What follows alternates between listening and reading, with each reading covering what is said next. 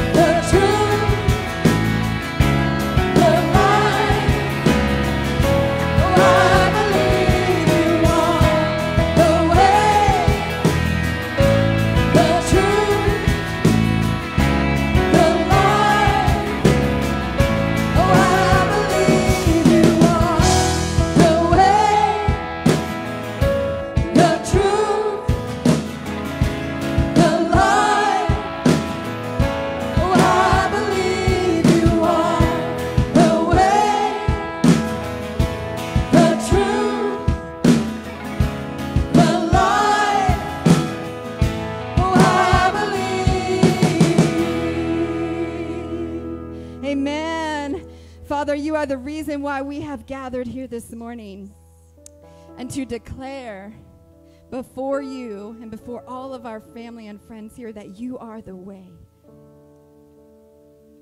that you are the truth, and that you are the life, that we continue to come back to your well, to be filled up, to be strengthened, to be encouraged. Lord, thank you for that. Thank you for offering us eternal life through your salvation. And it is in you that we put our trust. We love you, Lord. In Jesus' name, amen. Amen. Well, welcome to Canby Foursquare Church this morning. And if it's your first time, we hope especially that you feel welcomed and that you feel the love of the Father here this morning with you. And I also want to say a happy Mother's Day to all of us in here where that resonates. And I just came back in the country. I've been visiting um, Southeast Asia. I was in Malaysia for 10 days. And it was a really incredible trip. And it's a Muslim country. And the first time I was really in a country where that was the predominant uh, people group and where Islam was practiced. And um, it was really lovely, actually, to observe the people on their turf, on their terms. And one thing that I've been walking away with is how the language of love is universal. And another thing that I've been thinking about is how the presence of light and the presence of darkness is a real thing. And that is something we can engage with even in our country here. But the presence of light and the presence of darkness. And Jesus came, and when he came, he said, I am the way and the truth and the life. I am the light of this world. I am the light. And I believe that light is through his compassion and through his love and through his salvation for all. Amen. So as we continue in worship this morning, I wonder what it would be like for all of us just to kind of reflect on that that he is the light. That he is the one that goes before us. That he is the one when we are in a dark chapter that he wants to come and sit and abide there and just shine his presence of comfort there. Because it's in him that we abide. So let's continue in worship.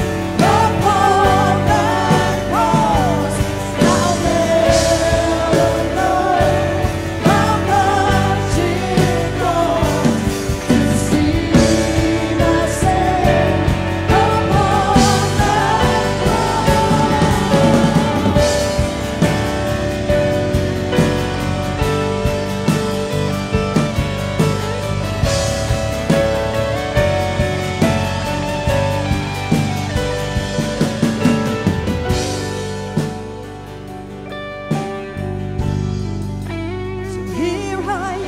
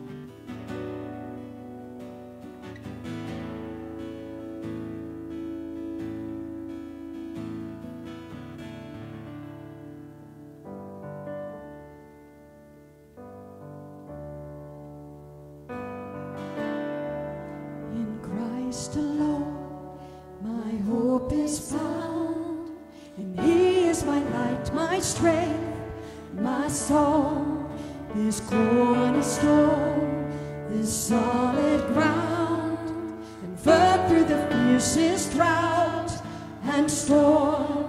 What heights of love, what depths of peace,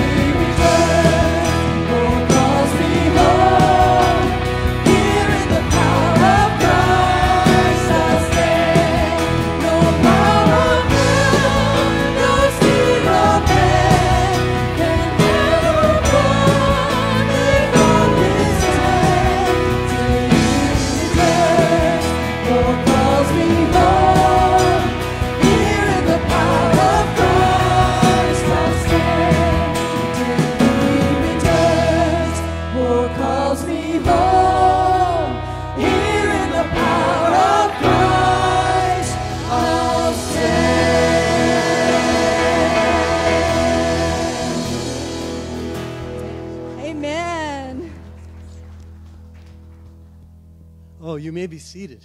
Thanks to worship team. Man, thank you so much.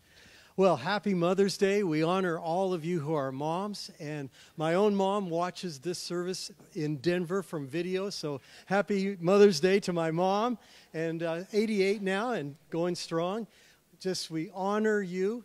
Uh, we have peppermint uh, uh, peppermint patties uh, afterwards, and they're they're um, beyond my favorite. Although I do need a Snickers from time to time, but peppermint patties, I understand they're Annette Swar's favorite, so they're available to all the ladies afterwards. We just want to honor moms, but we know it, Mother's Day isn't always easy. Some have uh, lost a mom, and there's grief.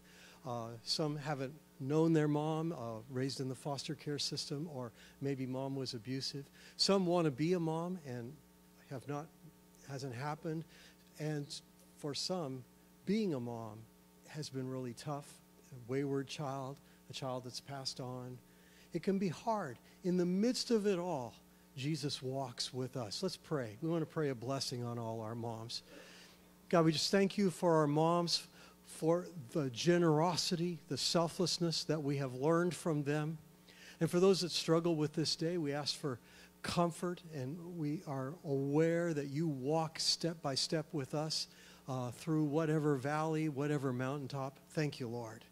Thank you, Lord. Thank you for your just enormous love for us this morning.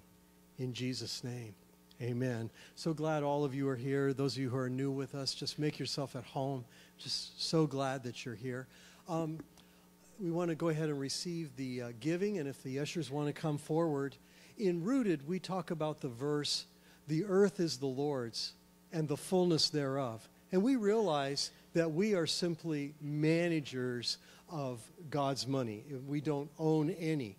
Now, I've kind of described myself as frugal over the years, and actually, that can be a synonym for stingy, though we'll not talk about that this morning.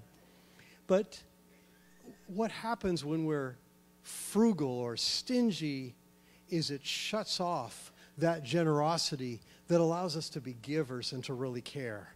And I think naturally we want to be generous. We want to be like Jesus. And so I, I just encourage us to reclaim that space of being a manager of what is God's and then be able to be more free in our generosity. And thank you for the generosity that, that you have. God, we just thank you for the faithful giving that happens here. And God, we just pray that it would be a reflection of your generosity. We just want to be like you. In Jesus' name, amen. Well, the men's retreat is just one week away, and we anticipate that the theme, What If, is going to open up a lot of dialogue about possibilities in men's lives. We are on target to see guys changed, make friends, and carry it on from there into their um, lifestyle. And so if you're if you haven't signed up yet, guys, you can sign up after this in the lobby or you can sign up online. We love you. We want to see you there. Well, let's watch the video. Hey, welcome to church. Happy Mother's Day, moms. We are so glad that you're with us. We even have a little um, gift we want to give you on the way out the door. Uh, we, we want to just invite everybody to have a great time today. If you're new or visiting, we're glad to have you. We want to give you a free coffee. So fill out one of those Connect cards. You can take it to the bistro behind the counter. They'll give you one. Uh, we just love to just treat you. And uh, again, want everyone to know that Annette and I and about 30 to 40 of us are off in Israel right now today. We're celebrating Mo uh, Mother's Day in Israel. So we just want to thank you for uh, being here this morning. Hey everybody, it's that time of year. VBS is right around the corner. It's coming next month in June. So you can go online, canbyfoursquare.com slash kids, and you can sign up to volunteer as an adult. We'd love to have you. We just need all the help we can get. And of course, sign up the kids. We want as many kids here to just have a blast, fill the week. Uh, our campus comes alive when our community kids show up. Hope you're, hope you're there. Hope to see you there. Hey, just to give you a heads up, we got youth camp coming up, junior high and high school camp. It's going to be happening soon. You can go to northpacificcamp.com, sign up there. We want to see you. Come on out. It's life changing. I know camp for me as a kid was life changing, uh, did radical things for me. So we know that's true with our kids. So we're praying and we want to sign up. Sign up as soon as you can. Hey, if you want to know any more about Canby Foursquare, hey, just go online, canbyfoursquare.com. A lot of events, a lot of things happening, so you can check the calendar there. We also want to remind you immediately after the service, we're going to have prayer teams all around the building. If you need someone to pray with you, spend time with you, talk with you, please, please uh, go spend time with uh, our care team. They're great and amazing. So God bless you. Hey, friends, welcome to church. So glad to have you guys here. Happy Mother's Day. I'm James. I get the privilege of serving on staff as one of the pastors here at Canby Foursquare Church. What I do is I'm the dean of Canby Bible College. So we have our very own two year Biblical Higher Education Institute. We equip students to love and lead like Jesus. We've got an opportunity quickly for you. Summer prayer retreat, Friday, Saturday, June 28, 29. We'll be down at Mount Angel Abbey under Kristen Cheney's uh, wonderful guidance. She's a spiritual life director here, or spiritual life professor for us at CBC. And it's a chance for anybody to be able to get the experience and the tools to have a more enriched and meaningful prayer life. Really encourage you to check it out. Be a transformational time. Go online, canbybiblecollege.org. And of course, as you heard, uh, Pastor Ron and Annette send their greetings. They're in Israel having a blast, if Facebook is telling the truth, um, which of course it always does. Um, and also, moms, um, thank you so much for the contributions that you make to your families, to this church body, to our community. Uh, my own wife this morning was awakened at like 3 a.m. to take care of a sick child. There are hours of unseen, untold, unheralded self sacrificial service that mothers have put in. So, moms, thank you. My desire for you this afternoon is that it's filled with mimosas and naps. like that as well. All right, uh, so you're going to get me for the next two weeks, this week and next. Um, we're going to do a little two part series. Today, we are going to be discussing godly living in a political age. So, we're going to be discussing Trump, border security, gun control, climate change. No, no, sorry. It's a terrible idea. I know what you're thinking. You're like, James, it's Mother's Day. I brought guests. Why are you doing this? No, we're not going to talk about those things. We are, however, going to talk about how we talk about those things. So that's today. Then next week, assuming there's anybody left in the church after today, um, come back. We're going to be talking about godly living in a technological age, asking the questions around how our devices are shaping our view of ourselves, of others, and of Christ. So that's what we're going to be doing over the next couple of days. Godly living in a political age. If you know me much, you know that I like to try to condense the entire sermon into a single sentence. We call it a sermon in a nutshell. It answers the question, what did we talk about at church today? And today's your answer is the goal is to be invited back to the conversation. The goal is to be invited back to the conversation. Um, in the year of our Lord 2019, you may have noticed that the conversations that you're in with friends, family members, coworkers, strangers in the coffee shop, sometimes it feels like when you're in that conversation, you're actually in the middle of a dark forest with cougars and landmines, and you're not sure if the next step that you take is going to be the one that blows up in your face, and you've lost a friend, you've made an enemy, and you've created a whole mess. It's no secret that we are living in an increasingly political and polarizing age in which the conversations that we have are more fraught, are more dangerous, or simply not happening at all for fear that we step on a landmine. So, for the sake of our witness in the world, for the sake of the reputation of the church in our community, for the sake of glory of God in the world around us, I care very deeply that we become equipped with something like a biblical strategy for talking about difficult political, polarizing issues in such a way that doesn't create trauma and havoc. Now, we probably won't succeed this morning, but we are going to give it a try. And so, if you're a little nervous about what's about to happen next, join the club, so am I. We need to pray, and then we'll get into it. Uh, Jesus, help me to speak truthfully, kindly, graciously. Lord, help our words as a community, especially towards those who don't agree with, agree with us on political issues. Be ones that are marked and seasoned with generosity, with grace, with empathy, with humility. Lord, we need you. Lord, if there's anything that I'm about to say that is incorrect or untrue, please spare these people and correct me. God, we need you and we love you this morning. Would you be alongside us? In your name we pray. Amen. Uh, today, if you have a Bible, you're going to be opening it up. Romans chapter 12. Romans chapter 12 is where we're going to get there, where we're going to be. We're going to get there in just a moment.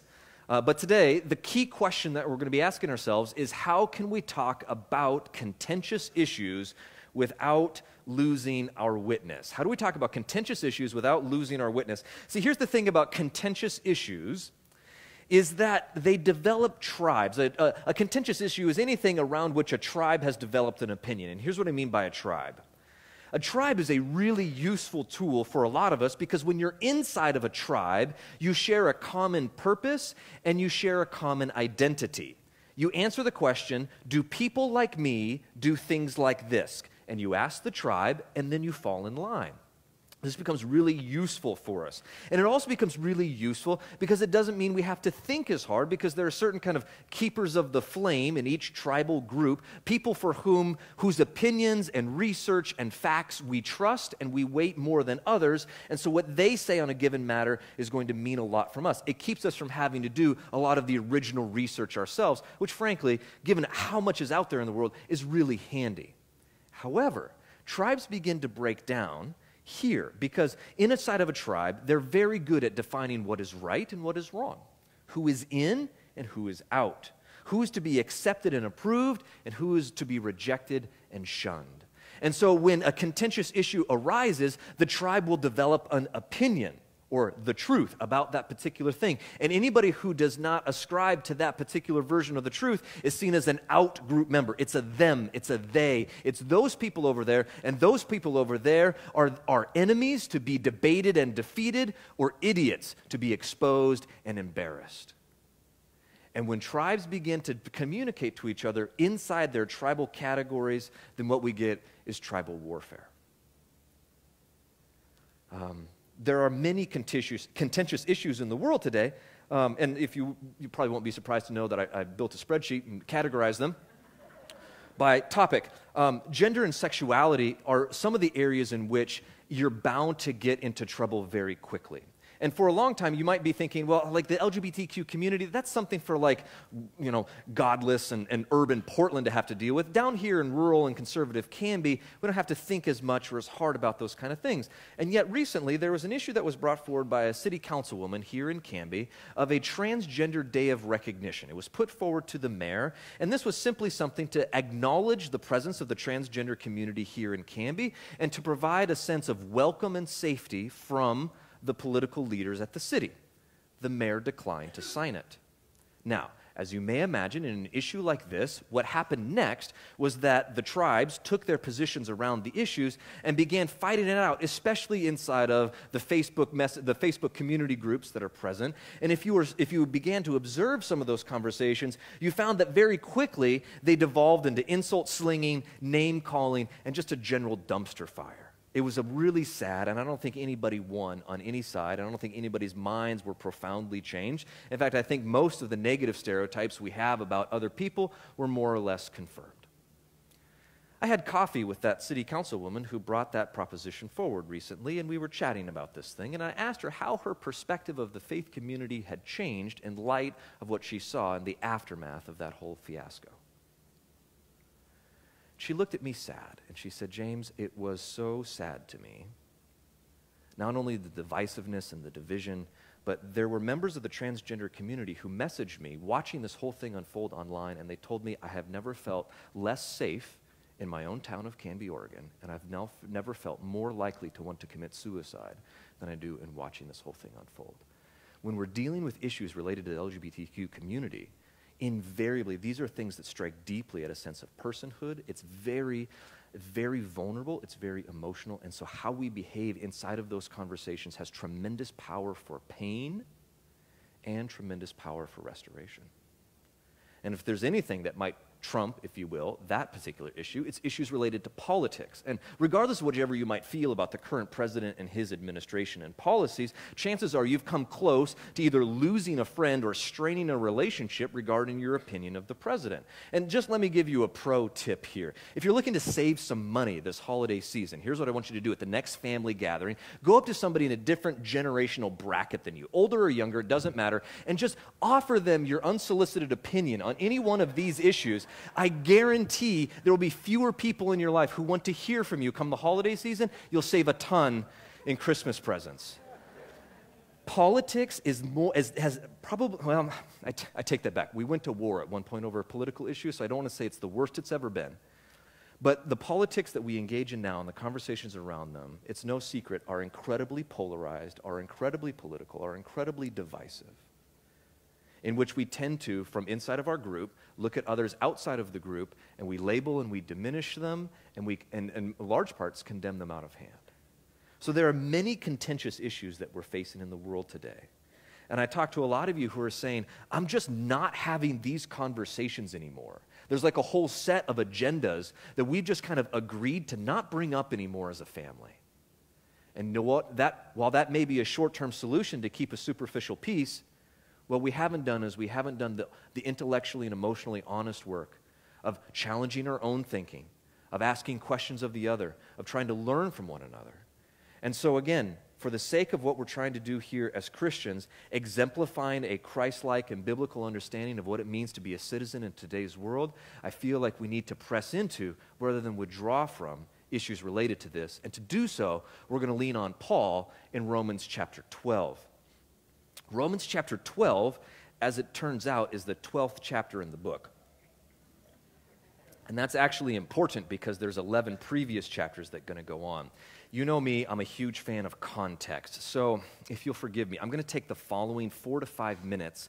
I'm going to I teach the class on Romans at Canby Bible College. So, 45 hours of lecture. I'm now going to attempt to contract to the following 4 minutes. Please don't take notes. We'll move too quickly. Buckle up book of Romans was written by the Apostle Paul in AD 57 to house churches that were assembled in Rome. These churches were comprised of both Jewish and non Jewish people. They all loved Jesus, had great faith, but they were struggling to get along with each other because of the racial and ethnic differences that separated them. So Paul writes this letter to say, You are unified in the gospel. That's the big theme, evidenced by his thesis statement in Romans 1 16 and 17, which says, For I am not ashamed of the gospel, for it's the power of God unto salvation for everyone who believes, to the Jew first and also the Greek. For in it the righteousness of God is revealed from faith through faith, for as it is written, the righteous shall live by faith. That's a quotation from Habakkuk 2 4. Paul's pulling the Old Testament into the New to show that God's means of salvation has always and forever been faith, not works, not law keeping, not anything else. Then, in the next couple of chapters, the end of one, all of two, the first half of three,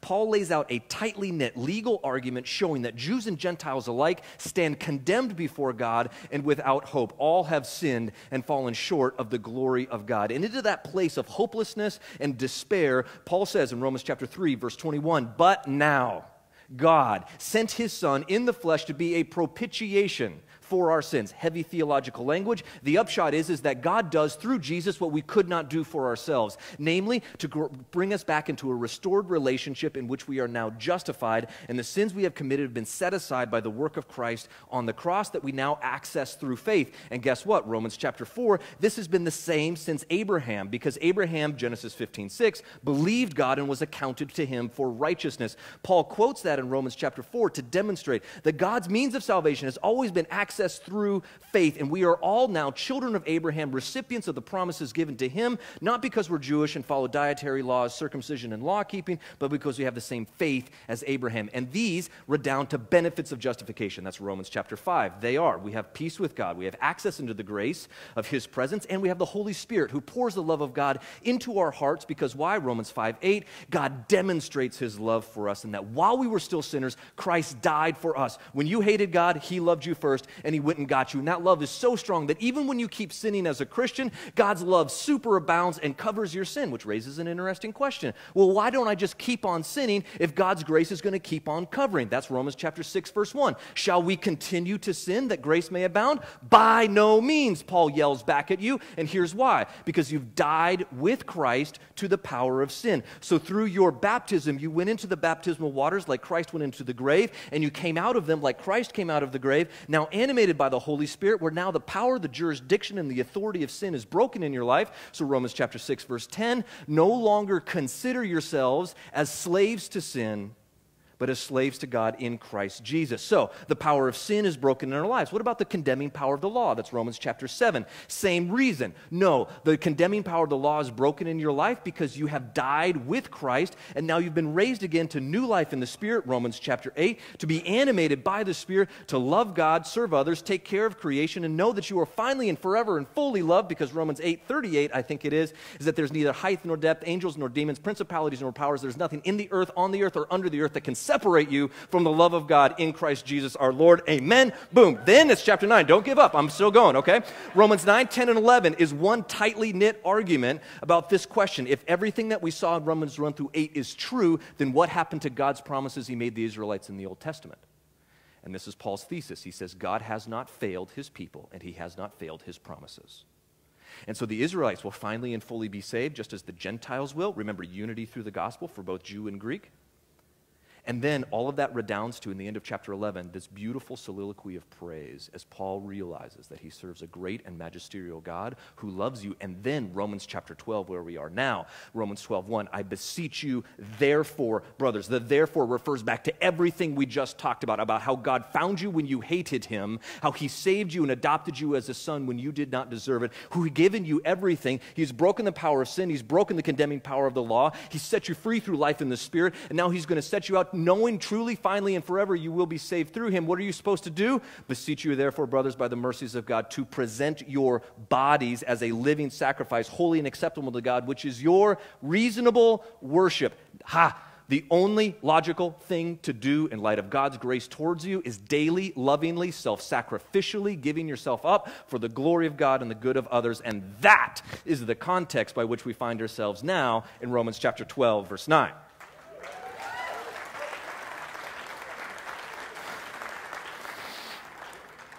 You want to do that yourself, take my class at CBC next spring. Okay, so everything in Paul's world about who Christ is and our response to it is summarized in that top line let love be genuine. And then everything else that he's about to say is a modifier that defines and expands upon what genuine love looks like. Does that make sense? So there's one heading, and we're going to look at about 20 different modifiers that all describe and explain what genuine love looks like. The very first thing that Paul says about genuine love is that you have to hate. That's strange, but notice what we're supposed to hate hate that which is evil. So when the church stands up for those oppressive systems, many of which are political, that strip power away from those who are powerless, that take a voice away from those who are voiceless, that do not stand in the gap for injustice, then we are not abiding by what genuine love is because we have not yet hated what is evil. And so the church is to be an advocate for and a faithful and consistent presence within those who cannot speak for themselves. We are to hold fast to what is good. Romans 10. Love one another with brotherly affection. Here's how I love this. Okay, I have a brother myself and I have three sons. I know a touch about brotherhood. Here's the thing I've learned about brothers over the years is that they just don't go away. Here's the thing when brothers fight, they don't get the luxury of never seeing each other again. You have to keep living with these people. And what we've somehow figured out is through the advent of the internet is that we've been able to now take our online interactions and we've been able to treat now people as anonymous and disposable. We don't have to live with these people anymore. We don't even have to know their name or see them. And we can now be looser with our words because the impact of them we'll never know and the Bible calls us back to a very local, very familial, very centralized sense of I want you to engage every relationship you have as though this is a family member that you cannot shake. This is someone that you must see again. This is someone for whom you have to continue to be in relationship with. And so, oftentimes, the tribal systems that we're a part of, they, they encourage us to treat the other as an enemy to be dismissed as an opponent to be defeated rather than a brother to be lived alongside of. And if we allow the political systems that we align ourselves to or the tribes that we identify with to strip away from the other a common set of humanity as people who are dignified as image bearers of God, who are worthy of honor and respect simply because they are, regardless of whatever political positions they hold, then what we've done in that moment, if we allow that, is that we've essentially made an idol out of our tribal identity. And we've sacrificed our highest and holiest calling as citizens of the kingdom of God to mere republicanism or democratism or whatever else. And one of the things that I really care so deeply in the course of this whole thing is that one, we acknowledge and identify our own tribal thinking because all of us are products of the systems in which we are raised up in. And yet, we acknowledge them and we can take a step outside of them to say, look, I might identify with a polit- particular political party that has its pros and cons, that has its enemies and allies, and yet my highest allegiance is first to the kingdom of God because therein lies my hope. And in fact, I'm going to outdo one another in showing honor. The Bible says in 1 Corinthians 13 that love keeps no record of wrong. Paul says here in Romans chapter 12 that the records that you should keep should show that you're the one who's doing more to honor and respect others. Okay, well, how do you honor someone whose political opinions you find ridiculous, stupid, or downright un American? You, you listen, actually, to them. And this is the challenge that we often face is that if tribal thinking will lull us into thinking that we are right and they are wrong 100% of the time. And so there's very little room for nuance and there's very little room for mutual learning. But if we begin to develop a sense of curiosity, in which we lead with questions rather than statements, in which we're genuinely able to listen without judgment to the positions of another, even if we know, already know that we're not going to agree with them, then what you've done is you've honored that person. Well, they haven't done it back to me. Guess what, good Christian? Outdo. Outdo. Don't let somebody else's misbehavior towards you give you an excuse to then treat the other person poorly. Okay? We as Christians, pro tip here, guys, just make sure you know what you're signing up for. We're following the Prince of Peace who was led like a lamb to the slaughter, and he opened not his mouth. He was rebuked, he was abused, he was manipulated, and he was ultimately bodily destroyed, and yet he did not rise up in defense against himself. Why? Because he trusted his body and his soul and his reputation to God above. Friends, we serve a, a king who rules through weakness, not through strength. And if we insist on being right and being seen as being right, we abandon the way of the cross. And we sacrifice a long-term vict- or a long-term victory for a short-term gain. Do not be slothful in zeal, but rather be fervent in spirit. Serve the Lord. The way that you serve the Lord is by every day not growing weary and doing good. Every day showing up faithfully, openly, curiously, humbly into the world around you to be able to say, My job here is to serve.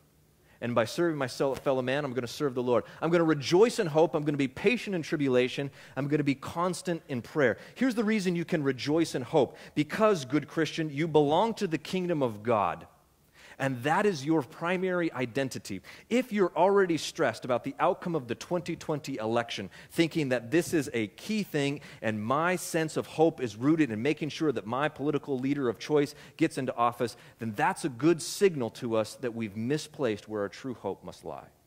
Friends, our God is a lot bigger than a Republican or Democratic Party. Our God is a lot bigger than the United States of America. Our God's objectives are much larger than the things that we often concern ourselves with. And I want to be the kind of person that's aligned primarily to God's agenda, not a political party agenda. Because if my hope is placed there, then I have, mis- then I have essentially, I'm worshiping and serving a human ruler rather than the one true divine one, someone who God puts on the throne. So, our hope is built in Christ. We read the end of the book. We recognize that He's sovereign and He's turning all of history towards His ends. But the people that I like the most aren't in power. That's fine, actually, because guess what? It gives you the opportunity to joyfully, faithfully, lovingly express your work in the world. So be patient in tribulation. In this process, you will be, um, you will be abused, you will be misunderstood, you'll be intentionally miscommunicated about. And guess what you get to do? You get to be patient. You get to be patient. Why? Because you trust that your reputation is held in the hands of God. You trust that your identity is rooted and grounded in Christ. You can be constant in prayer if you're going to gossip about someone, if you're going to, um, if you find yourself in that kind of mental conversational loop in your own head about that person and you just wish that you had the courage to actually tell them what it is that you're thinking, that's a good clue that you should. One of the ways to stop that, to interrupt that loop, is to start praying for them. Verse 13, contribute to the needs of the saints and seek to show hospitality. I'm convinced that hospitality is the future of mission in 2019 and beyond, and here's why. Whenever they go out and they ask people, non Christians, non church people, what do you think about Christians, and especially what do you think about white evangelical people? The two things that always come to the top of the list in the surveys are Christians are anti gay and anti science. Congratulations, friends, that's our reputation. How are we going to undo the damage that's already been done on that front? Well, let's go inside our tribes and just get in this massive echo chamber and then yell loudly and hope somebody on the outside's impressed and then joins us. May, no, mm, maybe not. What if instead we said, what happens is that stereotypes and caricature begin to develop? And if you think about this, if you and because why? Because we're really good at reducing people to labels. And So if I'm over here in my tribe, then everybody else out there is a them. They're a Democrat, let's say. Well, Democrats are this way, and they're all this way, and they all believe these things. Well, but the person that you're actually pointing to is, is a person. Oh, they have a name, they have a story, they have a series of experiences and influence and thought leaders that are involved in their life to make them who they are. I wonder if rather than just trying to be content ourselves with labeling the other person, we actually invited them out for a coffee, for a lunch, over for dinner, for barbecue and board games, something by which we began to see beyond the label to the person themselves. And guess what? Guess what they have a chance to do? Because you know what they're doing? They're labeling you as well. Oh, they're a Christian. They hate gay people. Oh, well, what if you, through the course of faithful, remember, being invited back to the conversation, were able then to undo in their minds that sense of Christians are always and only this way. Hospitality gives us the avenue into people's lives by which we share a common meal and we focus on the things that bind us rather than the things that divide us. And in so doing, we have an opportunity to first demonstrate and show Christ's love before we're able to tell it. Bless those who persecute you, bless and do not curse them. Well, guess what, James? I invited somebody who I don't agree with out to coffee, and they said no, or they said I was an idiot. uh, this will likely happen, and you need to prepare yourself for this potential. And here's what I want you to do I don't want you then to devolve into confirming that all people who don't agree with you are this way, and then giving up hope and getting cynical.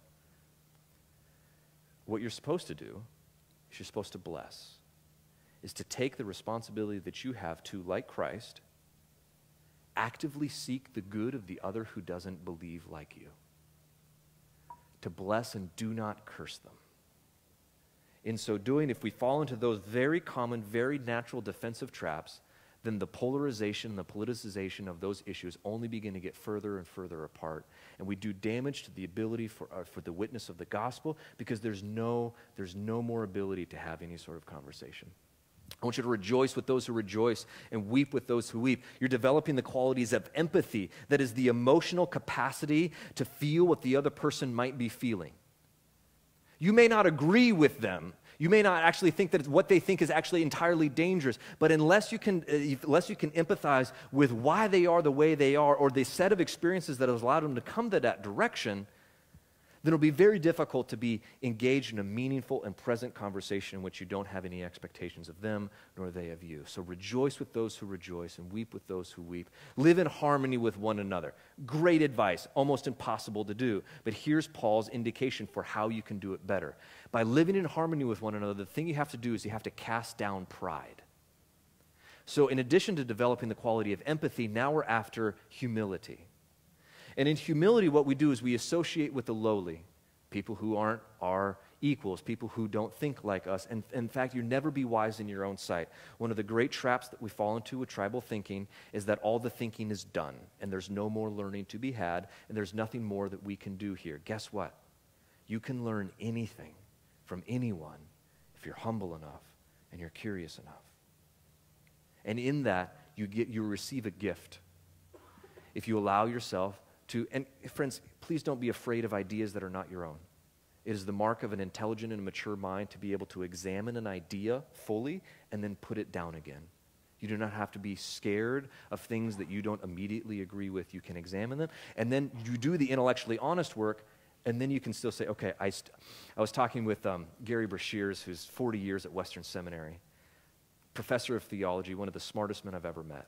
And he says, whenever I get involved in a conversation with um, a Muslim or a modern secularist or anybody else who I know I don't agree with, I said, I am fully convinced in my own mind, he says, that Jesus is the only, that Jesus is the best answer to all of the facts. However, in that conversation, I have to be willing to jettison Christianity if I feel like it's not the best answer for all of the facts. That intellectually honest work makes him able to be compassionate and empathetic in that situation. Now, he's convinced, and he's not jettisoned Christianity, he's a faithful proclaimer of the truth. But that ability to say, I'm willing to, I'm willing to learn from someone who I don't agree with, gives you that invitation back into the conversation. Last couple of things repay no one evil for evil, but give thought to do what is honorable in the sight of all. When we hop online and we adopt the posture of a keyboard warrior who wants to pastor the internet or police the internet, and just there's someone who's wrong on the internet and I'm going to fix it.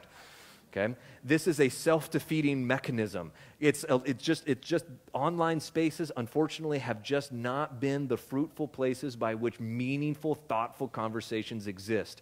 So, so have them. Just have them in person. And when people come back to you with all sorts of vitriol and hate and frustration, it's playground ethics. It's what I tell my boys. Just because he hit you first doesn't give you the right or the responsibility to hit him back. Do what is honorable in the sight of all. And then, lastly, this if possible, so far as it depends upon you, live peaceably with all. I love this about Paul because he's such a realist. He's like, live peaceably with everybody. Except, it's not possible sometimes. And so far as it depends upon you, means that sometimes it depends upon other people, and sometimes other people are jerks. So we need to modulate our expectations to know that basically what this means is the question that you need to ask yourself is Is my side of the street clean? And it doesn't matter that your neighbor is throwing trash at you, you don't get to throw trash back. Keep your side of the street clean. Pro tip you're going to uh, stand before God one day, you're going to give an example, or you're going to give an account for everything that you do and say, not what other people have done and said to you. They've got to give their own account. But you only get to talk about what you did, not what other people did to you. So don't fall into the trap of seeking vengeance. Don't fall into the trap of trying to protect your own. Don't fall into the trap of needing to be made right. It's a losing battle. Because the goal of all of this is to be invited back to a conversation. And a conversation is different than a fight, it's different than a debate.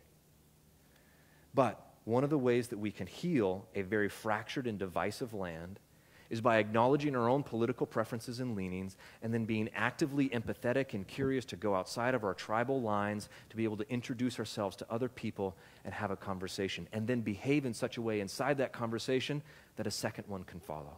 And here's the reason why, friends. Think about your deeply held political beliefs.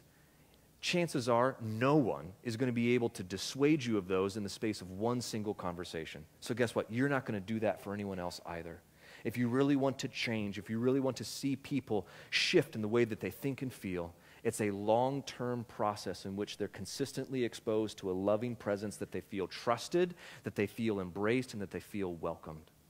And so, if we develop the, the qualities that Paul lists here of tremendous empathy, of tremendous humility, of good curiosity, then we can be that kind of conversation starter that moves us forward. We have to reframe what winning looks like. So often we adopt the language of a culture war, and we are soldiers in it, advancing ground and defeating the enemies around us. Friends, as long as we think of people at the end of our guns, we will never love them or argue them into the kingdom of God. But if we can recognize that they simply are human beings made in the image of God, loved and redeemed, loved and able to be redeemed no matter what, then there's a possibility of a relationship there can have, that God can use for redemptive ends. Let's finish with a few suggested action steps. Here we go. First thing I want you to do is resist outrage. So common. The internet has made us outrageous, meaning that we are very quick to see something that happens, whatever the thing that Nancy Pelosi or Donald Trump said, and then boom, everybody takes up their. It's just, it's difficult to be able to find any sort of equilibrium emotionally anymore around those kind of things. Now, there is a place for righteous anger. You see it all the time in Jesus in Scripture. He's constantly going after those oppressive systems that keep people back from experiencing the fullness of a life in God. All right? But that's a very big difference than righteous outrage, which is immediate, which is emotional, which is reactionary. So if you find yourself getting, what is the parlance, triggered, pause. The Benjamin Franklin thing will come in handy. Count to 100 and then say or do your next thing. Resist outrage. Show hospitality. Uh, buy a Traeger. Invite people over. Something to embrace people into your home. There's a reason that we as human beings, we're all social creatures. And we share a meal, there's a bond that gets formed. And so, if you can, be a kind of presence in the lives of people who don't agree with you, such that if you invited them over for a board game night, for a barbecue, for a cup of coffee sometime, they might even be curious to hang out with you and spend more time with you. What are you going to do when you get inside of this conversation? What is there to talk about with somebody whose political views are very contrary to your own? Chances are you actually know less than you think about other people's political views. Why? Because echo chambers exist inside tribes, and we spend most of our time there. So you're going to have to develop the qualities of curiosity. And this is great. You go into a conversation like a learner, not a teacher. And so you might say some things like, I know we don't agree on like marginal tax rates or what we should do about, you know, student income debt or income inequality or the transgender community. Just help me understand how you see this issue. And then stop and shut your mouth and listen without judgment. And what you might find is that people are interested, they'll, they'll clarify their own thinking in the process, and you might end up learning something. And then, potentially, the most controversial thing that I've ever said on the stage stop watching cable news. Um, here's, here's the reason the reason I don't watch cable news is that I have three boys, and so there's always enough juvenile yelling in my house to fill it up. I don't need the television to provide any more for me. Let's be honest, inside of our tribes, especially if you lean more conservative or Republican, you're, you're probably leaning towards Fox News to see a lot of where you're going to get your information. If you lean a little bit more um, Democratic or liberal, you're probably going to be more fascinated with CNN or MSNBC. Okay? All of these platforms are primarily commercial enterprises in which they sell advertising against viewership. How do you keep viewership?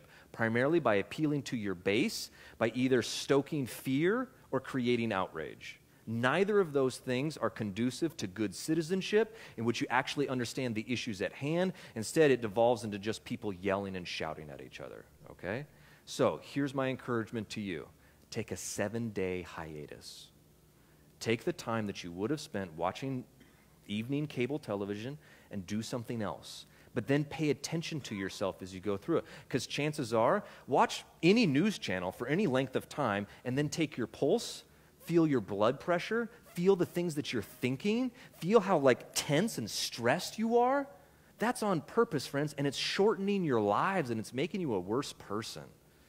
Like, so take a little break and see how you feel. Now, you still need to be an informed citizen. So, what should you do? I'm, I'm betraying my millennial status by saying this, but, but read paper, Okay? If there's a big issue now, there'll be a big issue at the end of the month. So get a, a, reputable, high quality monthly news magazine. In fact, get two.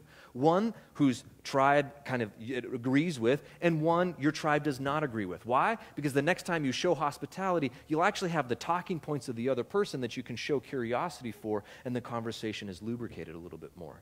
So, yes, stay informed, but let's acknowledge that cable news is probably not the best medium to create the kind of humble, empathetic, um, open minded, curious people that we want to be if we want to ever get invited back to the conversation. This is a deeply difficult, um, nuanced issue. And I don't know if I've done a great job helping you see it, but I, I, I care so deeply that we point ourselves back towards the truths of Scripture and the standards of behavior that are given to us as followers of Christ. And if we find ourselves allowing the political issues that so animate us to then mute and diminish our witness as Christians, then it's a signal to us that we're putting our hope in the wrong place. And so, my encouragement to you is that as you go out into this world, that you develop the relationships such that there's a conversation that can get started and even more importantly, one that can get scheduled at the end of the first one, and so on. And in so doing, what we do is we'll be a people who de- reflect the love, grace, humility, empathy, curiosity, and kindness of our Lord in a very difficult and contentious age. Amen. Let's pray. Lord, help us. Um, we've done some damage as Christians um, to your name and to the sake of Christ in the world in the way that we've behaved. And so, Lord, we just want to just own that and, and repent and ask for your help and, and, and being a kind of people who are able to follow a Prince of Peace. So, Lord, help us to resist and reject tribal warfare. Help us to be more, to own our own opinions deeply, but then, but also to hold them with an open hand as we are able to listen to the voices around us. God, give us discernment, give us nuance, give us thoughtfulness, give us courage and boldness to be ambassadors of salt and light in this world. We love you a lot, Jesus. We need you so much. Help us. In your name we pray. Amen.